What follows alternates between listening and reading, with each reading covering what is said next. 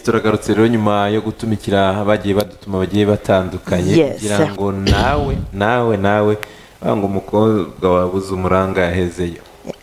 Bivuge Yaheze. yagize mwanyine. Abantu bange kuvuga ngo nyina cyanyuma oya niko umugani uvuga. Ari aho ameze neza.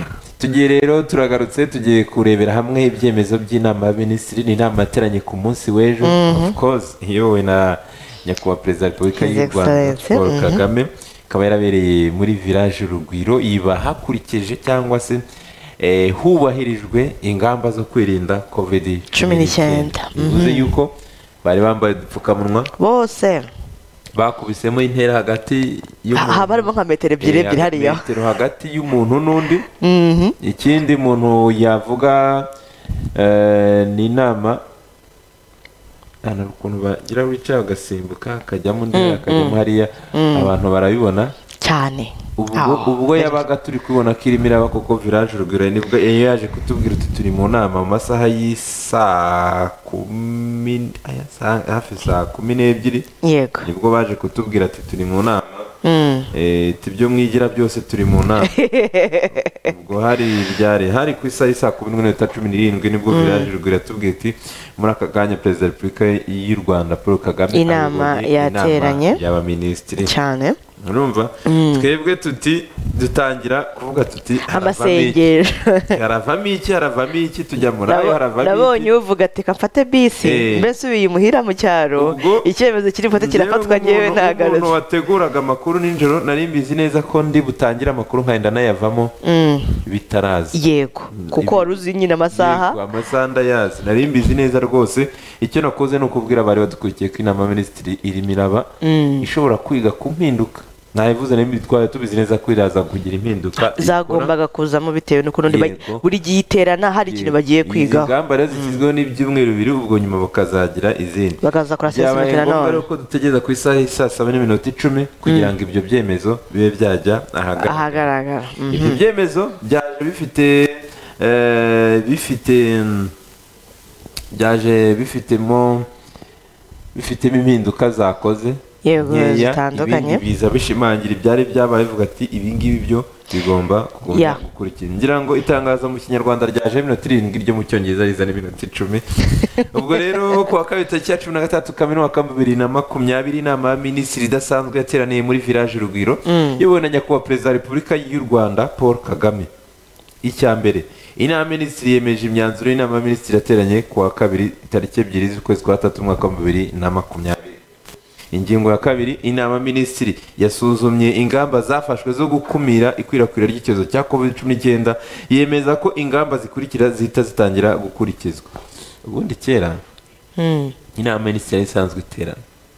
Yego. Ariko ntabwo abantu babaga bayishidukiye nk'uko ubu ngubu. Hari n'igihe tutanabimenyaga ko yanabaye urumva abantu batanabimenyaga icyo batifuza no kumva ibirimo ndabizi ko ntabwo ushobora guca kuri televiziyo harimo iri tangazo ry'umuhondo gutya.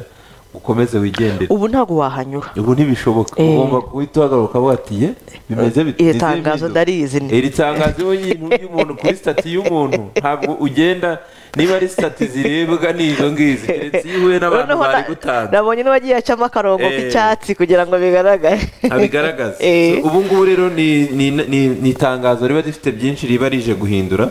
Rimwe na rimwe ushobora no kwishora ukaba watereka sinda isomye uragiye baragusubije bitewe n'ibyavuyemo. ye kuko hari bibi n'undi bikugonga. Inama minisitiri yasuzumye ingamba zakoze zo gukumira kubera icyorezo cya covid cumi n'icyenda yemeza ko ingamba zikurikira zihita zitangira gukurikizwa. Izi ngamba zongera kuvugururwa nyuma y'iminsi cumi n'itanu hashingiwe ku isesengura ry'inzego z'ubuzima. Hagomba ingamba rusange zo kwirinda indwara ya covid cumi n'icyenda icya mbere gahunda yo gupima abantu covid cumi n'icyenda izakomeza mu gihugu hose. Biri gukorwa. Umuntu ugeze kutubaza tuti ese abantu bapimwa bigenda bite? Barabanza bagapima bagiye bahura na bariya bantu. Ariko hari n'ahantu ugera bakagupima. Hari igihe muri gare bapimaga hari igihe na polisi igeze kujya ifasha abantu gupima. Kugira ngo ubwo abantu bari muri gahunda ya guma mu rugo twe twarakoraga ntibageraga hanze rwose bakagupima. Udupfukamunwa tuzakomeza kwambarwa neza igihe cyose umuntu agiye ahahura n'abandi. Byumvikane neza udupfukamunwa abantu bafite bizinesi udupfukamunwa mugumye mukora utundi. Serivisi zose zemerewe gukora zizakomeza kubahiriza amabwiriza atangwa n'inzego z'ubuzima harimo gukaraba intoki kwambara udupfukamunwa gusiga intera hagati y'umuntu n'undi. Bisa nk'aho ari ubutatu butagatifu bwashyizweho mu rwego rwo kwirinda covid cumi n'icyenda uragendana gukaraba intoki kwambara udupfukamunwa cyangwa gusiga intera hagati y'umuntu n'undi. Eh, ubundi ubwo ni bwo bwirinzi bwa mbere nk'uko twari tuzi ngo kwirinda ubudahemuka n'agakingirizo. Latifa wiseka. Nicyo kimwe. Ubu noneho ni ugukaraba intoki kwambara udupfukamunwa no gusiga intera hagati y'umuntu n'undi. Abacuruzi bose barahakangurirwa kwemera kwishyurwa hifashishijwe ikoranabuhanga hamwe mu buryo bwo kwishyurana. Ingendo. Ibi ngibi biri mu ma- mu- mu magambo y'umukara. Ingendo zirabujijwe guhera saa tatu z'ijoro kugeza saa kumi n'imwe za mu gitondo. Aha nta cyahindutse. Bibuka ko bigitangira yari saa mbiri. Eh eh saa mbiri yagonze Eh, abantu. saa mbiri agendanira abantu. Bitewe na taransiporo iri hanze ahangaha biranga bakubita isaha. Hari abantu bagitekereza ko bashobora kongera isaha bikaba saa yine ariko byagumye kwa kundi ni isaha y'isaa tatu. Yego. Basanze iriya saha imwe bayongeraho hari abantu baba bamaze amacupa atatu. Serivisi zemerewe gukora. Ibikorwa by'inzego za leta n'ibyo abikorera bizakomeza ariko buri rwego rugakoresha abakozi b'ingenzi abandi bagakomeza gukorera mu ngo. Twizere ko ikibazo cyagaragaye hagati y'abakozi n'abakoresha bamwe bavuga ati bosi ntiyashyize mu bakozi b'ingenzi ubu ngubu magingo ya cyakemutse hatanzwe inama z'uburyo bajya bafata icyumweru kimwe hagakora bamwe ikindi hagakora abandi. Yego. Bakoresheje timetable cyangwa se ingengabihe twizere ko biri gukurikizwa. Ikindi kintu mu mabara y'umukara ubwo ni serivisi zemerewe gukora. Em, ubukerarugendo bwo mu gihugu n'ubukerarugendo mpuzamahanga ku bashyitsi baje mu ndege zihariye. Ubwo ni indege zihariye ubwo umuntu yazita ko ari private jet ze charter fa- flights. Ubwo nkeka ko urabizi nk'ejo bundi hari abashyitsi baje batuzana ibikoresho. Yego. Urabona ziriya ndege nyine ziriya ni kago yego. Ariko hari abari bazirimo nyine. Yego. urabizi ko zari ziherekejwe zize ziherekezwe n'abayobozi. Bariya ibikoresho bavu- byaje ejo bundi ba- eh, ibi byavuye muri leta zunze ubumwe bariya z'abarabu ari muri bariya bavuga ko bemerewe no kugira gute bariya nabo nka bariya bazanye biriya bikoresho se bemerewe gusura. Eh, ntagendere ubusa bi- bizanye n'abayobozi usanga bizanywe na minisitiri w'ubuzima bari no mu butumwa bw'akazi Eh, wenda. bizanye n'umwambasaderi wo muri icyo gihugu. Ntagendere ubusa. Yego ntagendere ubusa. Bakamutembereza. cyane ko abatari na benshi ntabwo bari benshi. Eh. ubwo rero eh, baba- abantu ku giti cyabo cyangwa se abaje mu matsinda buremewe. Ariko amabwiriza arambuye ubwo twagiye kuri paji ya kabiri azatangwa n'urwego rushinzwe iterambere mu rwanda rdb jabundi baradukwebye ngo nta information eh, bafite this time ubu rero rdb rdb na yo igiye guhita yicara ndetse nkeka ko rdb ari na yo iba yaragejeje Iki gitekerezo hariya, bariya abantu ko baza. Abantu baraza Bakagenda gutyo. amaramasa ahantu baba bakeneye gusura urwibutso ahantu baba bakeneye gusura ibi N'izo ngagi. hagiye hatandukanye izo ngagi.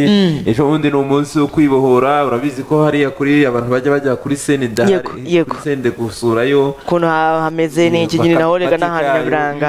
byose. Umuntu akaza n'agapfukamunwa akongera akagenda gutyo gusa. rero rdb yavuze iti izo ngamba zirahari abo bake badusohora nta kibazo. Mm. nk'uko abamotari igihe babimiraga izo ngamba zari zihari nubwo mwashyizemo amazi. Ingingo ya gatatu na yo iri mu mabara y'umukara. Hoteli zizakomeza gukora ndetse zemerewe no kwakira inama hubahirizwa amabwiriza yo kwirinda covid cumi n'icyenda. Ibi bisanzwe biba? Yego. Hoteli zirashishikarizwa kandi kugira uruhare mu bukerarugendo bw'imbere mu gihugu. Ako nakongera nako ko nta gakirigishwa bashyize muri- gisi mu gihe utubari tutarazi tudafite hano hari buvukemo indi kese y'akabari na hoteli. Ibikorwa bya siporo zikorerwa hanze abantu bategeranye bizakomeza. Icyakora siporo ikorewe mu nyubako z'imyidagaduro ibizwi nka gym irabujijwe. Bivuze yuko gukora ibaba ni ukurikorera mu rugo iwawe. Ntabwo izi nzu zikora amababa ntabwo zemewe izi nzu zikora amababa cyangwa se Ubu- zitwara inda zitateganyijwe zishinzwe gutwara inda zitateganyijwe ntabwo zemewe. Ni ukujya umuntu abikora mu rugo cyangwa mu ubu abantu muhanda bamaze kumenya ubwenge basigaye bazi siporo. Zose bazimenyeye mu abantu rugo. mugane mugane zuma sipoti bakubita ibikoresho ubundi mukore siporo. Ubundi mumere neza. Mhm. amabwiriza rero arambuye kuri ngingo azatangwa na minisiteri ya siporo ngira ngo minisiteri ya siporo yanayatanze yego. Yarayatanze yavuze ko hari ibikorwa bizanasubukura harimo nka tenisi tenisi ubwo tenisi umuntu azajya aba yifitiye imipira ye. Mm. ntabwo urumva rwose ntawemerewe gukora ku mupira wundi. None iyo mipira izatoragurwa nande? Kumwe iba yatakaye mu kibuga. Urumva hari ibikorwa tenisi yo kwishyira muri Eh, birashoboka. N'ubu ngubu uzabona na na na sikirizime ishobora gukora. Hantu muhurira ni we n'akagare kawe. Yego. Gusa hari ukuntu bajya bagwa bakameneka nk'agatebo k'ibishyimbo abona bose barahwanye neza neza. ubwo rero minisiteri ya siporo amabwiriza yashyizweho ubwo Nabo bazareba ibishoboka. kureba kureba muri muri minisiporo cyangwa se umuntu agasubira inyuma akareba se minisiporo iravuga iki kuri ino ngingo? Nabo bazareba ibishoboka rwose. Moto zizakomeza gutwara abagenzi. Abamotari ndabasuje cyane mufite impungenge yuko eh, nyuma y'ejo bundi tubona imibare myinshi Nzanye na Kazunga ambwira. bose bagize ubwoba. Nzanye na kazungu ambwira ati turasimbutse ariko sinzi uko turarisimbutse ariko nkurikije uburyo tutumva nanjye arabimbwiye unzanye ati ariko ntabwo bizoroha. moto zizakomeza gutwara abagenzi uretse mu turere twa rusizi na rubavu hashingiwe ku isesengura ryakozwe n'inzego z'ubuzima muri utwo turere twombi. Abatwara moto barasabwa kubahiriza amabwiriza y'isuku no kwambara udupfukamunwa igihe cyose. Ngira ngo ino ngingo murayibuka neza umumotari agomba kuba afite yambaye agapfukamunwa afite kasike ye afite kasike y'umugenzi mu gihe umugenzi atayitwaje ko aba yitwaza ntabifitiye ubushobozi. Agomba kuba afite umuti wabigenewe agomba gutera muri kasike mbere yo kuyiha umugenzi ndetse agakarabya n'umugenzi mbere yo kumutwara. Umugenzi agomba kandi kuba yambaye agapfukamunwa ndetse afite n'igitambaro ashyira mu mutwe hagati y'umu- y'umusatsi na kasike hagomba kujyamo ikindi kintu. Yego. Ako kantu ko karumvikana cyane. N'ubu turi kuvugana barimo bara- barimo barabyumva ntuza nka mara ya mbere. Mara ya mbere iroroshye ntawe utayizi. Ah, byageraga ku icyenda tugatora amashashi. icyenda ni bwo byatangiye iya karindwi n'iya cyenda n'iya munani iya gatanu na yo iroroha moto zakomeza gutwara abagenzi uretse mu turere twa rusizi. Aha rero abantu babyumve neza. Impamvu rusizi na rubavu hari hari z'ingamba ugasanga zo hari ingamba zitayireba n'iki? Baracyari muri ntuzi baracyari muri lockdown. Bitewe no- n'abanyarusizi cyangwa abanyarubavu bagiye binjira bakajya mu bindi bihugu bakurayo korona barasarura. Bitewe n'abantu bagiye binjira muri ibyo bavuye muri ibihugu bihugu duhana imbibi binjira na korona magingo aya ngaya bikaba bisaba yuko tubanza tugakiriyaringa abo bantu bose bakabanza bakava mu nzira yego. ari salama kugira ngo nabo basubire mu buzima busanzwe. Mu gihe uziha kwigana rero ibyo bakoze uri i Huye mu gihe uziha kwigana ibyo bakoze. Uri za gicumbi mu gihe ibyo byakoze. Uri rwamagana uri hehe. Birashoboka ko namwe igihe runaka mushobora kuzumva muti muri muri lockdown. Yego. Mu gihe kigali tuzemera kwemera kwinjiza abantu tubavanye za rusizi panya bakaza bagakongeza i kigali. Umunsi umwe kigali natwe tuzajya hehe Tuzajya. Muri lockdown. Ni uruhare rwa buri wese rero kugira ngo kuri ino ngingo ibintu bizagome wenda dusigare dukiriyaringa rusizi na rubavu kandi na byo bigenda neza. Kirehe sinzi impamvu bayongeremo kandi na yo irimo kandi hari rusumo za kirehe hariya. Hari uburyo covid cumi n'icyenda ibi iha irimo irahareba gutya. Yego. Mhm. Ingendo hagati y'intara zitandukanye cyangwa intara n'umujyi wa kigali zakomeza ariko kujya mu turere twa rusizi na rubavu birabujijwe ntabwo byemewe. Polisi y'u rwanda iheruka kwerekana abantu bafashwe bagerageza kuva muri utwo turere. Hari abavuye rusizi bagera i kigali hari n'abavuye ariko bafasha eh? Oya kujyayo ntabwo wajyayo ahubwo wa wundi uriyo ni we uzi abari kuvayo nibo bari kuyizana. So birabujijwe rero icyakora amakamyo atwara ibicuruzwa yemerewe kugenda mu turere twose. Ubwo natwara Yes. ibyo kurya. Ibyo byo byamye byemewe.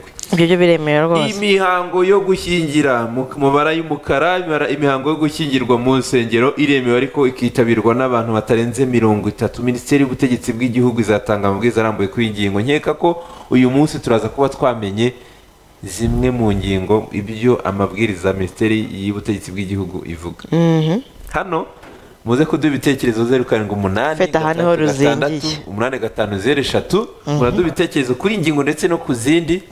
Erega nawe ushobora kuba wicaye iwawe mu rugo ariko ushobora kugira inama inama ya minisitiri. Ukavuga ati yiko ndabona byagenda gutya. Ya bitewe n'ukuntu ndabona na aka kantu bagashyiramo. Mhm. sibyo Mm. aha rero minisiteri y'ubutegetsi bw'igihugu iyobowe na porofeseri shyaka anastase yigeze kuvuga iti impamvu twabaye twemeye ko bibera mu murenge. Nuko byoroshye ni ibintu bikorwa Eh. n'abantu bacu n'inzego z'ubutegetsi nyine. Simenya ko ari bo ba- Igitifu, simenya ko ari bo usezeranya abantu, tuba dufitemo abayobozi aba- abashinzwe umutekano aho ngaho biroroshye gukontorora abantu cumi na batanu. Mu nzu. Eh, mu gihe ku murenge aho biba byabereye.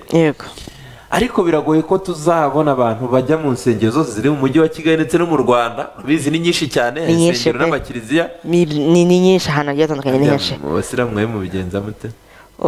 Natwe turasezerana imbere Umusigiti. y'imana mu musigiti Eh, no mu musigiti ubwo urumva ibyo bice byose kandi nawe n'imisigiti na yo ni myinshi. bigoye ko umuntu wayakontorora. Wumva ko icyabagoye ni ukushyiraho umubare w'abantu batagomba kurenza. No ku- no ku- no ku- no ku- kubikora kontorore ni ukuvuga ngo ku murenge baba bizeye yuko hari umu- umuyobozi hari n'umuyobozi umutekano hari n'igihe usanga hari na polisi hari usanga na polisi irimo gutambuka aho ngaho inyuma kwa pasiteri runaka ko bishobora kugorana ko bashobora yego kurenga. yego. Urabizi hari n'ukuntu hari ukuntu pasiteri ashobora kuzanira korari ubwayo ikayitire ubwayo baba ari mirongo bivuze ko itatu nta korari zemewe. Hoye kandi aba ari benshi nta korari. Niba ntabwo zemewe. Korari aba ari benshi kereka nawe nibacamo kabiri ariko reka biri muri bandi mirongo Korari ko itatu bajya bafunga umutwe bati none se ubu ko batawufunze ngo bajye kuririmba. Korari ntabwo zemewe. Nkurikije uburyo bw'abantu cumi na batanu ku ruhande rumwe n'undi cumi na batanu ku rundi ruhande. Ni ukuri kwibanda so ubwo rero mu nsengero biremewe ariko ni abantu batarenze mirongo itatu. Ahangaha ngewe impamvu nakubwira ati niyumvaga akantu bashobora kugashyiramo Mm. latifu uraje usezeranye mu murenge. Abenshi hari igihe bahitaga bajya no kwibanira. N'ubundi nta cyabaga gisigaye. Kuko hari abantu tugira imyemerere itandukanye. Ngewe nshobora kumva yuko mariage religieuse cyangwa se gusezerana imbere y'imana ibyo bifite agaciro kurusha umurenge. covid yaraje ihindura byose. Nibyo nakubwiraga nyine. Noneho niba gusezerana imbere y'imana batari babiduha uburenganzira ngo tubikore. Tugomba duzanye imbere y'amategeko. Amategeko nyine ubwo ngubwo niyo yaje. Imana na yo irabibona ko exactly. covid cumi n'icyenda dukora Ati, ibidasanzwe "Ii, ihangane. ntabwo nishingiye. Na- nishingiye nagiye mu mategeko hanyuma ikibazo kikazaba ese nyuma mu gihe covid yazaba yarangiye? Tuvuge ko ibintu bigenze neza mu mwaka utaha. Reka ntabwo tuzi igihe covid cumi n'icyenda izaba. Ntabwo ushobora kubimenya. N'aya mashuri tuvuga ngo mu kwa cyenda we are not sure ntabwo tubizi ni neza ugusenga. Nawe bifite Eh. kugera hariya byafashe indi ntera. Hanyuma ubu abantu mu kwezi kwa cumi n'abiri mu kwa mbere mwaka utaha abantu bibaniraga bajye gusezerana imbere y'imana. Basezeranye imbere y'amategeko.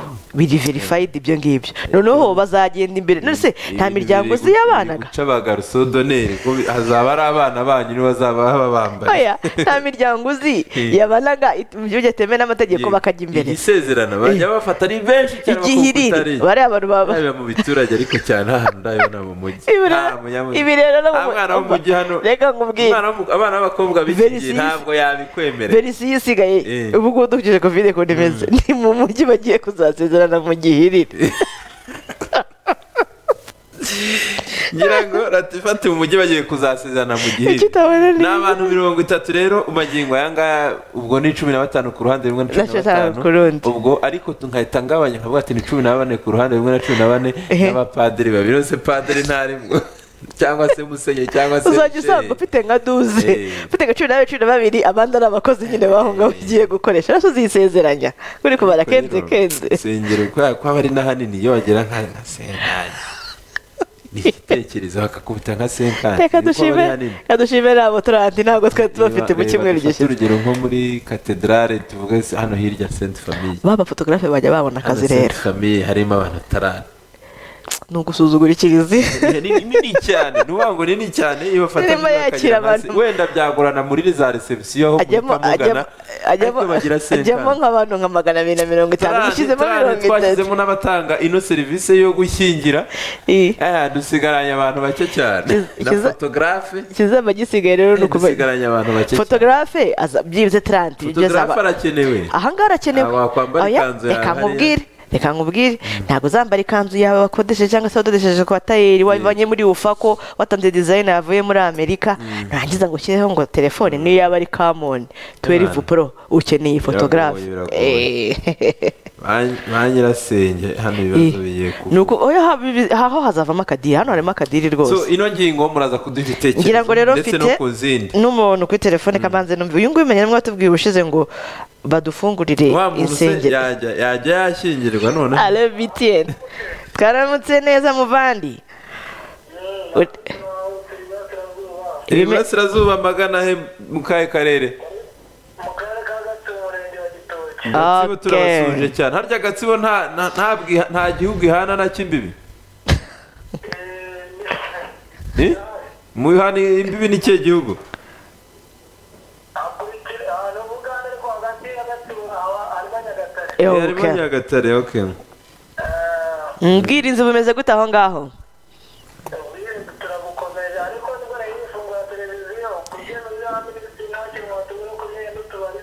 Utubari tuzakomeza gufunga. Niho ni ho ni ho twajyaga tugana mu kanya Eh. okay umuntu Yes. Umurayi muri itari nziza. Imihango yo gushyingirwa ntirengeje abantu mirongo itatu. Minisiteri y'ubu- y'ubutegetsi bw'igihugu iraza gutanga amabwiriza arambuye kuri iyi ngingo. Nkeka ko uyu munsi nta kuntu shyaka kajya mu nama minisitiri adafite ingingo zimurengera agomba ku- agomba kuba afite ingingo imurengera byanze uyu munsi bikunze ibyo byose aza kwiduha. Ishyingirwa rero rikora imbere y'ubuyobozi rizakomeza ariko ryitewe n'abantu batarenze cumi na batanu. Aho ni uko byari bimeze. Okay ni ukuvuga ngo nyamara bya bintu byajya byaza tuzajya muri muri sivili kenze bamwe abandi ku yindi. Hano kugabana oya kenze bamwe muri sivili noneho babandi bo muri sivili ntabwo bazaza muri resitora ntabwo bazaza- muri nuza muri mu kiliziya kuba- tuzazana abandi. Eh, ariko no muri serivisi ushaka izabera heretse muri hoteli muri izaba- hoteli muri Oh, hoteli nabwo burarangiye ukahita ushyiraho abana. Ubukwe burarangiye. ikibazo bashaka ku- Kujya hose. muri hoteli ahubwo kugira ngo bababeze baze kubobeza. suze jeff cyane jeff bobo. Reka leta uno muntu rubi cyangwa arabatambaza resitora kubera ko nta gisubizo cya resitora afite. Alo btn alo halo. Iyo uhamagaye rero urabanza ukagabanya volume televiziyo hirya. eh. Hanyuma imihango y'idini yo guherekeza gusezera wapfuye mu nsengero iremewe ariko ikiterwa n'abantu batarenze mirongo itatu imihango yo gushyingwa na yo ntigomba kurenza mirongo itatu. Ubwo ba bantu mirongo itatu bagiye mu ruzi. Ni ngo ubundi byari ugushying- gushyingura. Ngo bashyiraga mu eh, rugo ah. wenda bakazana uwihaye imana Akaba yabikorera mu rugo.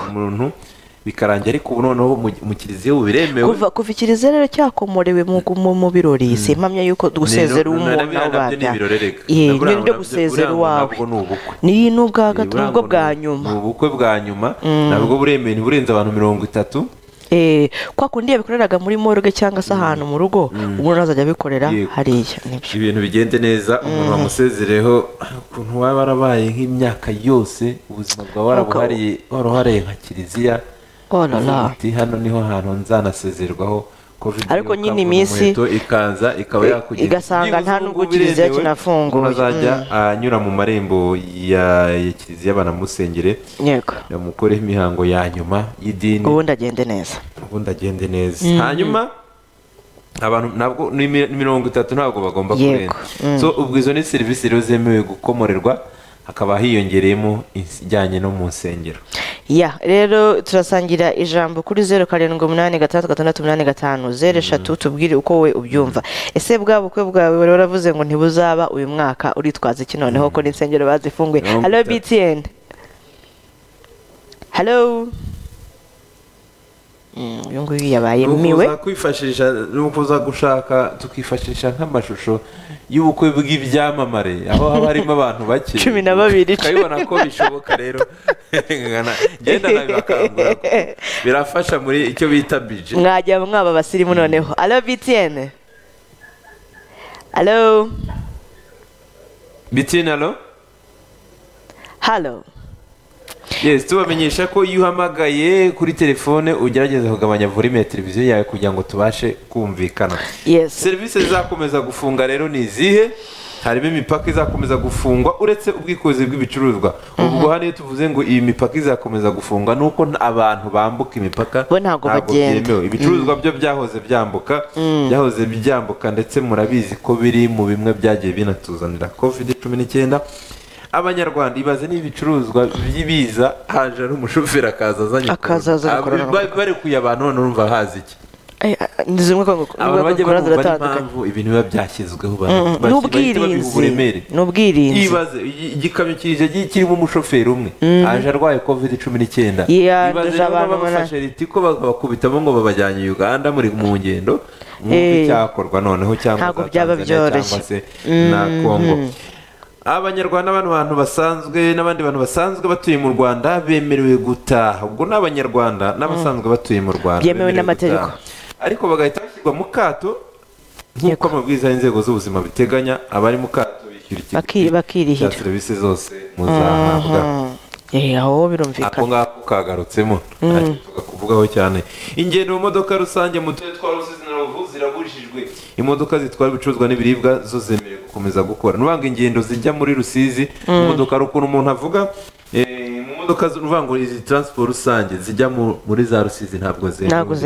Ibyo byo muranabizi ariko. Imodoka zitwara ibicuruzwa n'ibiribwa byo ziremewe gukora amashuri azakomeza gufunga kugeza muri nzeri umwaka wa bibiri na makumyabiri. Ntegereje kureba muri nzeri nihagera. Ko muri nzeri tuzaba twaratsinze byibuze cyangwa se twariyakiriye eh kimwe Erega muri hari ibyo. igihe hari igihe gutsinda byanga ukiyakira iyo wiyakiriye burya rero ubasha kubaho na bya- na za mbogamizi ko nk'indwara tuvuga uru- urugero sida. Mhm. Mm, sida ariko twayiburiye umuti twanayiciye n'amazi. ubu niba hari ikintu cyateza amazi n'iriya ni ndwara. ngo icyo yakorewe ni ukugira gute? Ni ukwakirwa, ukayakira. hakaba ubukangurambaga abantu bakayirinda ukamenya ingamba ugomba gukurikiza mu rwego rwo kuyirinda yego. So murinze rero ni ho amashuri ubwo biracyari ibyo ngibyo. Abanyeshuri mukomeze mukurikire BTN TV ibiganiro bya BTN TV aho mukurikirana amasomo agiye atandukanye amasomo yavamo akabashyiramo ibiganiro bifasha kuruhuka harimo utwo dusobanuye. Yego. ibi biganiro by'imikino amakuru rusange nkeka ko nta rungo mwigeze nta rungo bafite. Mm. Insengero zakomeza gufunga ariko biri mu mabara y'umukara bivuze ko harimo akantu. Insengero zakomeza gufunga abanyamadini barashishikarizwa gukomeza gushyiraho ingamba zo gukumira no kwirinda covid cumi n'icyenda muri rwo kwitegura kuba insengero zafungurwa mu minsi cumi n'itanu iri imbere hashingiye ku bizava mu- mu isesengura ry'inzego z'ubuzima. Ahantu harimo kamaze numve icyo manweri ambwira noneho ngaruke. Waramutse manwe aramutse neza? Ni amahoro manuel rubavu murabibona ko mwebwe na n'ubu ngubu aba ngo ziracyapfa bitanihira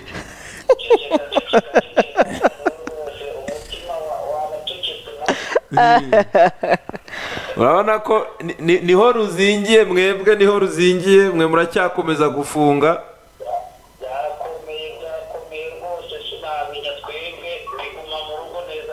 Iguma mu rugo ariko ubundi manwe utubwiye imibereho y'abanyarubavu iteye ite?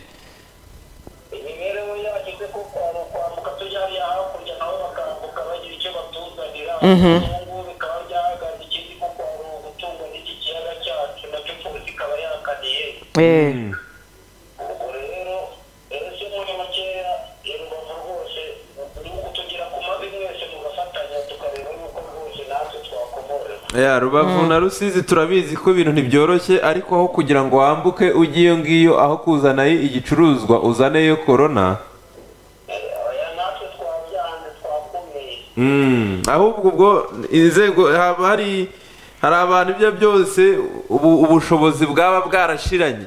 Bo babayeho bata ubundi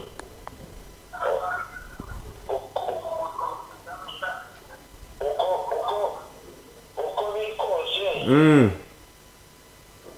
leta igira ukuntu yita no ku batishoboye wenda hari abakanyakanya ariko hari abatishoboye neza neza umuyaga uruguma bakikubita hasi inzara ni nyinshi pe mm.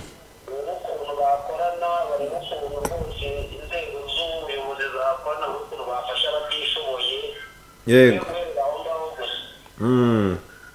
aho ubundi rwose i rubavu i rusizi umva ni ibibazo barimo ukuntu tuvuganira neza neza ewa ni byo byo bigomba gukorwa hagomba no kujyaho uburyo bamugani abantu badafite uburyo babaho muri ibyo bihe.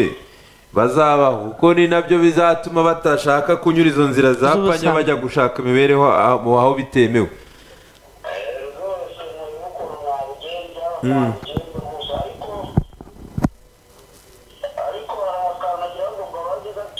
Rwose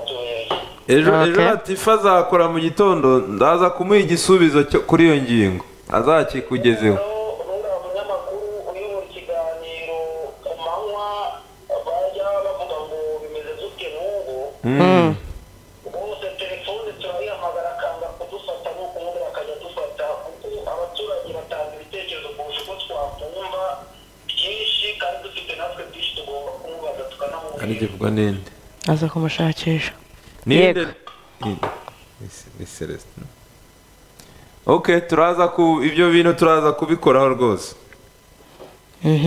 uwo rero yari emmanuel rubavu ngira ngo rero wari ugeze he nari ngeze ku buryo insengero izakomeza gufunga abanyamadini ariko bagashishikarizwa gukomeza gushyiraho ingamba zo gukomera no kwirinda covid cumi n'icyenda kuko kuko vuba aha ngaha ngo muri cumi n'itanu bashobora gufungura ubu mvuze yuko insengero zemewe ubu mu minsi cumi n'itanu iri imbere ntabwo se naba ngiye kure y'ukurira Eh, uh, kuko utazi ikizava muri iyo minsi cumi ngo mu n'itanu. rwego rwo kwitegura kuba insengero zafungurwa. Rindira babanze Mu bajye n'itanu gusezerano reba ibintu bazakoreramo hariya. Nibwo Oya. uzemeza ko baza- ndabizi ni ukuri kwimana muzuba byibuze inzu z'uwiteka.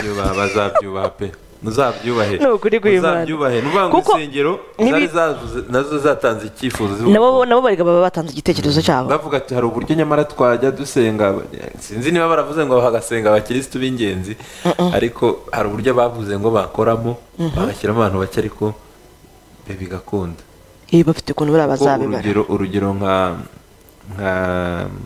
nk'ibi bi- nka nka misa ijya inyura kuri i- pacisi regina pacisi ibiriho bari kuyikamera ariko baba bari mu kiliziya. Bavuga ngo bafasha abantu bakeya. Bakitabira byamera nka bya biganiro byo tubona byo hanze. Ibiganiro biri kuba live ariko bifitemo n'abandi bantu bakeya bitabiriye. Ubwo kumenya ngo ni bande bazaza gusenga ni bande batazaza ubwo ariho amadini n'insengero bazahitamo. ari byo barimo barigaho. So ariko hano biraca amarenga y'uko vuba aha ngaha byibuze Bishoboka cyane yuko byafungurwa. insengero zafungura. So ako ngako ni ukomeze amateraniro rusange cyangwa mu ngo arabujijwe nubwo abantu bakomeje kubirengaho ugasanga abantu bateraniye mu ngo. Cyane. Tuzakomeza gufunga mukomeze kwihangana ibikorwa by'imikino y'amahirwe bizakomeza gufunga ibi na byo babyongeyemo bishyira no mu mabara y'umukara kubera ko bari bavuze yuko bari bavuze yuko ntabwo bari bazi ko babujijwe. Eh. Babonye ibikorwa ngo nabo baremewe ubwo ngubwo ntabwo byemerewe ibikorwa by'imikino Y'amahirwe. ngira ngo ibyo ni byo byarebaga inama ni byo byarebaga indwara ya covid cumi n'icyenda. Mm. gusa hafatiwemo n'indi myanzuro. Yego. Wenda ariyo tu- tugarukaho twihuta. Inama minisitiri yemeje imishinga y'amategeko politiki n'amateka bikurikira. Umushinga w'itegeko rigena ingengo y'imari ya leta y'umwaka wa bibiri na makumyabiri na makumyabiri ubwo ni kuri paji ya gatatu renado bufashe politiki y'igihugu yo guteza imbere imibereho myiza y'abaturage. Ivugururwa ry'ibiciro by'ubudehe iteka rya perezida rigena inshingano z'umunyamabanga nshingwabikorwa w'akagari iteka rya minisitiri w'intebe ryerekeye komite mpuzabikorwa y'igihugu ishinzwe gushakisha no gutabara mu by- mu by'indege. Iteka rya minisitiri rigena umukozi wo mu kigo cy'ubuzima ufite ububasha bw'umwanditsi w'irangamimerere iteka rya minisitiri rigena umubare y'amoko imiterere n'imikoreshereze by'ibitabo by'irangamimerere. Inama minisitiri kandi yagejejweho bikurikira gahunda yo gusubukura ibikorwa by'ubukerarugendo mu gihugu. Nakubwiye ko rdb hari uburyo ifite gahunda atari imaze kwishyiraho Eh, ubu ngubu, ko ah, ah, yayitanze. structure Gahunda imeze yo neza. ibikorwa mu gen- mu- gihugu yatanzwe na rdb byanga bikunze umushinga wa bridge international academies ugamije guteza imbere uburezi mu rwanda Eh, rwanda equipe hifashishwa ikoranabuhanga mu kunoza imyigishirize n'imyigire y'abana biga mu mashuri y'incuke n'abanza Ya leta. inama minisitiri yemeje ko madamu joanna christina tegwe igihugu cya Sweden mu Rwanda ku rwego rwa ambasaderi ufite icyicaro i Kigali na minisitiri yashyize madamu Marie Claire Mukasine ku myanya ku mwanya wa perezida wa komisiyo y'igihugu y'uburenganzira bwa muntu nyuma y'uko uwari uyiriho yararangije manda y'imyaka ibiri. Ibi bikaba byakorewe i Kigali tariki cumi na gatatu z'ukwezi Kamena mwaka wa bibiri na makumyabiri. Dr. Edouard Ngirente minisitiri w'intebe yashyizeho umukono kuri iri tangazo. Wayase urumva rero ko ibi ngibi ni ibintu byiza cyane. Btn alo Waramutse neza Yego. Inyansi hello? Hello? mfite Mm. amagare bigenda badufungurira oya ntago amagara arakomorerwa Mm, icyo kibazo na yo giteretseho amakaro urakoze cyane. Iki nari ikintu nari nkiteguye iki nari nkiteguye yego. Nibyo kintu nahise nanjye ntekereza kubera yuko ubwo duheruka ahangaha twari turimo turavuga tuti abanyonzi. bimeze bite wa mugani Eh, abanyonzi nabo rero baracyavuga bati kandika ahantu tuze ku alo btn wi turakumva. Mwaramutse neza? Hello? Yego urinde uherereye he mu karere ka rwamagana wi yego mu- mumeze mute rwamagana. Tumeze neza Mm. hari igitekerezo waba ufite se cyangwa se inyunganizi kuri ibi byemezo by'inama minisitiri neza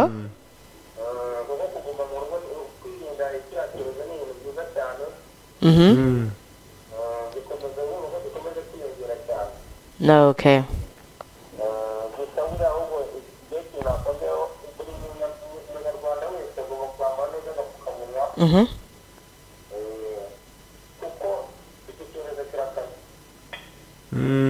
okay urakoze cyane Mm, ariko hari akandi kantu wendaga kubabazaho yego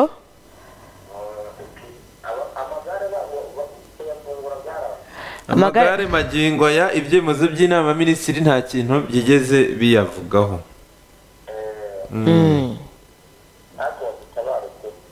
babatabare pe kuko niba buri muntu ahetse imizigo Mm.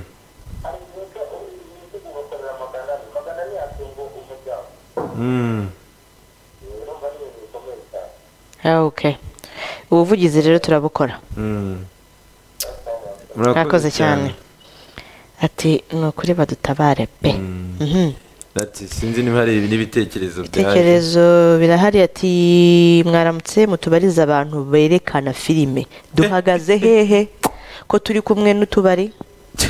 Yitwa nsengiyumva ndashaka katabona umuntu wuntekereza ahantu akabari gahurira na filime berekana filime ubwo harimo na za sine zisanzwe rege ngira ngo ni we bihugu urimo kuvuga. Alo btn wi gata ni nyamagabe. Yego Yego.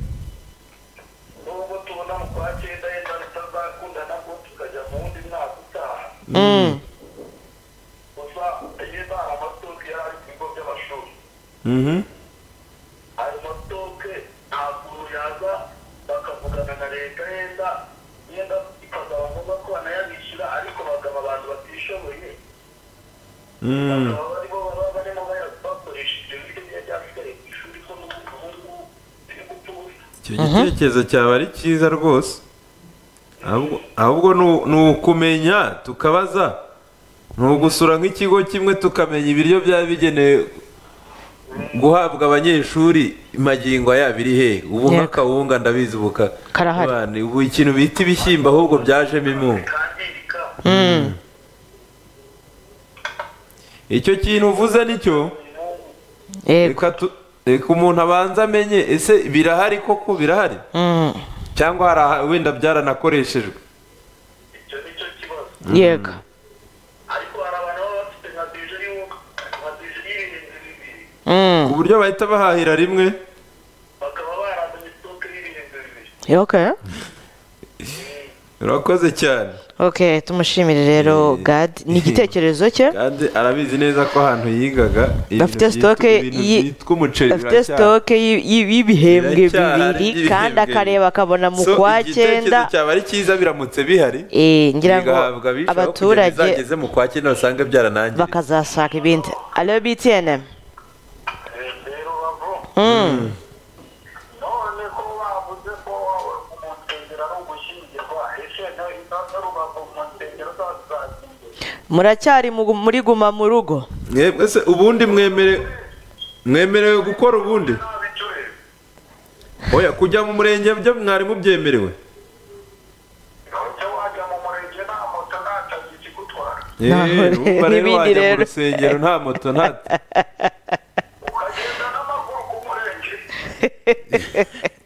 mube mugumye mu rugo kugera igihe guma mu rugo izarangirira ni bwo n'izindi gahunda zizakomeza zawaga naringize ngo natwe ubwo cumi na batanu bemerewe kujya mu rusengero ibi bizabareba mu gihe muzaba mwavuye muri gahunda ya guma mu rugo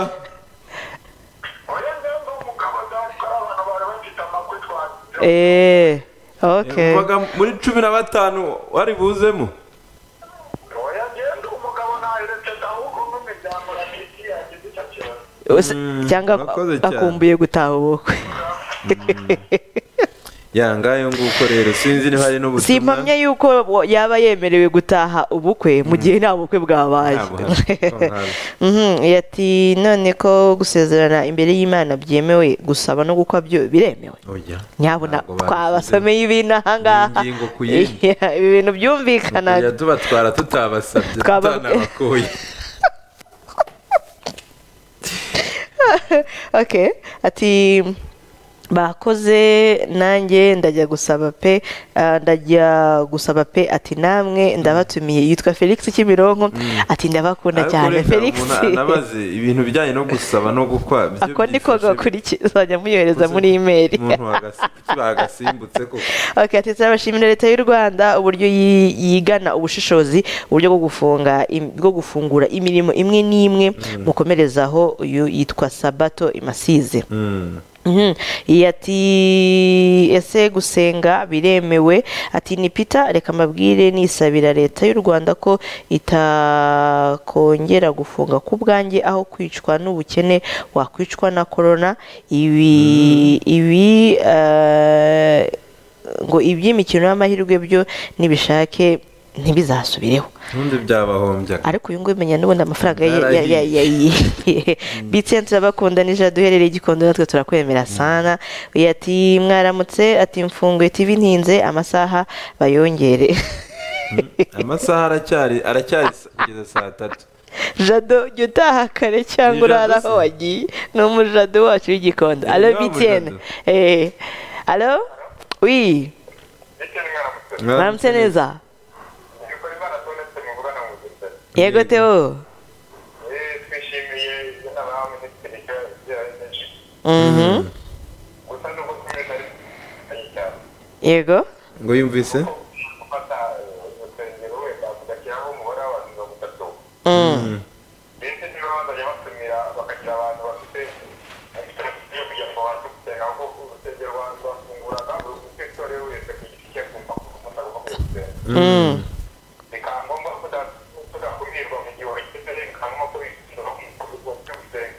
Uh-huh.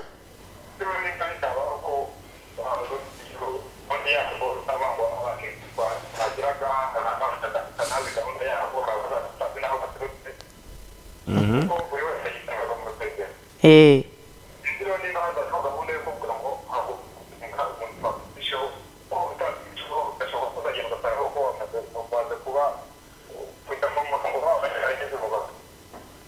Ngira ngo abashinzwe insengero rero bazabyigaho ukuntu nyine bazajya bakira aba bantu kubera ko biracyari mu rujijo ukuntu.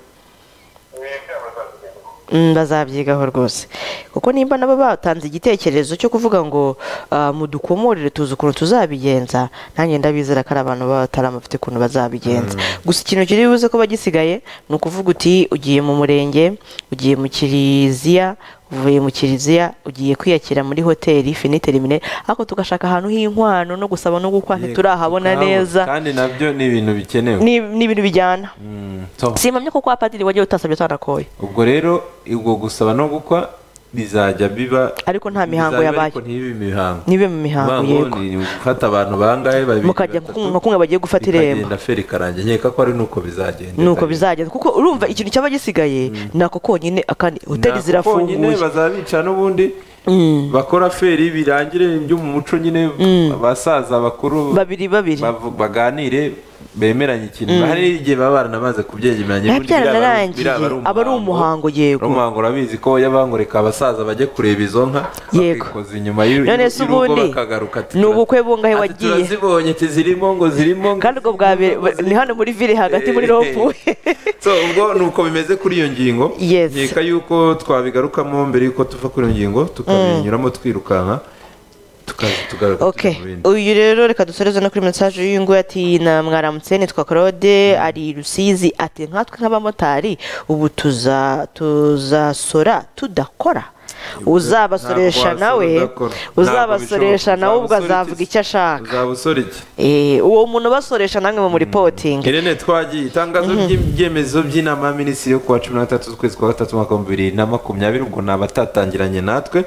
Ku wa kabiri ubwo ni ku munsi w'ejo inama minisitiri idasanzwe yateranye muri village ruguru iyobowe na nyakubahwa perezida wa repubulika y'u rwanda paul kagame. Inama minisitiri yemeje imyanzuro y'inama minisitiri yateranye ku wa tariki ebyiri z'ukwezi kwa gatandatu. Inama minisitiri yasuzumye ingamba zafashwe zo gukumira ikwirakwira ry'icyorezo cya covid cumi n'icyenda yemeza ko ingamba zikurikira zihita zitangira gukurikizwa. Izi ngamba zizongera kuvugurwa nyuma y'iminsi cumi n'itanu. Ingamba rusange zo kwirinda indwara covid cumi n'icyenda ni izi zikurikira gahunda yo gupima abantu covid cumi n'icyenda izakomeza mu gihugu hose. Udupfukamunwa tuzakomeza kwambarwa neza igihe cyose umuntu agiye aho ahurira n'abandi. Serivisi zose zemerewe gukora zizakomeza kubahiriza amabwiriza atangwa n'inzego z'ubuzima. Harimo gukaraba intoki kwambara udupfukamunwa gusiga intera hagati y'umuntu n'undi. Abacuruzi bose barakangurirwa kwemera kwishyurwa hifashishwa ikoranabuhanga nka bumwe mu buryo bwo kwishyurana. Ingendo zirabujijwe guhera saa tatu z'ijoro kugeza saa kumi n'imwe za mu gitondo. Serivisi zemerewe gukora. Ibikorwa by'inzego za leta n'iby'abikorera bizakomeza ariko buri rwego rugakoresha abakozi b'ingenzi abandi bagakomeza gukorera mu rugo. Ubukerarugendo bwo mu gihugu n'ubukerarugendo mpuzamahanga ku bashyitsi baje mu ndege zihariye baba abantu ku giti cyabo cyangwa se abaje mu matsinda buremewe. Amabwiriza arambuye kuri iyi ngingo akazatangwa n'urwego rushinzwe iterambere mu rwanda rdb hoteli zakomeza gukora ndetse zemerewe no kwakira inama hubahirizwa amabwiriza yo kwirinda covid cumi n'icyenda. Hoteli zirashishikarizwa kandi kugira uruhare mu bukerarugendo bw'imbere mu gihugu. Ibikorwa bya siporo zikorerwa hanze abantu bateranye bategeranye no contact eh, bizakomeza. Icyakora siporo ikorewe mu nyubako z'imyidagaduro irabujijwe. Ubwo ni mu majimu amabwiriza arambuye kuri iyi ngingo azatangwa na minisiteri ya siporo nkeka ko yamaze no kuyitanga. Moto zakomeza gutwara abagenzi uretse mu turere twa rusizi na rubavu hashingiwe ku isesengura ryakozwe n'inzego z'ubuzima muri utwo turere twombi. Abatwara moto barasabwa kubahiriza amabwiriza y'isuku no kwambara udupfukamunwa igihe cyose. Ingendo hagati y'intara zitandukanye cyangwa intara n'umujyi wa kigali zizakomeza ariko kujya mu turere kujya cyangwa kuva mu turere twa rusizi na rubavu uburyo birabujijwe. Icyakora amakamyo atwaye ibicuruzwa yemerewe kugenda mu turere twose. Mu mabara y'umukara imihango yo gushyingirwa mu nsengero iremewe uzi ariko ikitabirwa n'abantu batarenze mirongo itatu. Minisiteri y'ubutegetsi bw'igihugu iraza kuba itanga amabwiriza arambuye kuri iyi ngingo. Ishyingirwa rikorewe imbere y'ubuyobozi rizakomeza ariko ryitabiriwe n'abantu batarenze cumi na batanu. Imihango y'idini yo guherekeza gusezera uwapfuye mu nsengero iremewe ariko ikitabirwa n'abantu batarenze mirongo itatu. Imihango yo gushyingura na yo ntigomba kurenza abantu mirongo itatu. Serivisi zizakomeza gufunga. Imipaka izakomeza gufunga uretse ubwikozi bw'ibicuruzwa. Abanyarwanda n'abandi bantu basanzwe batuye mu rwanda bemerewe gutaha ariko bagahita bashyirwa mu kato nk'uko amabwiriza y'inzego z'ubuzima biteganya. Abari mu kato bishyura ikiguzi cya serivisi zose bahabwa. Ingendo mu modoka rusange mu turere twa rusizi na rubavu zirabujijwe imodoka zitwara ibicuruzwa n'ibiribwa zo zemewe gukomeza gukora.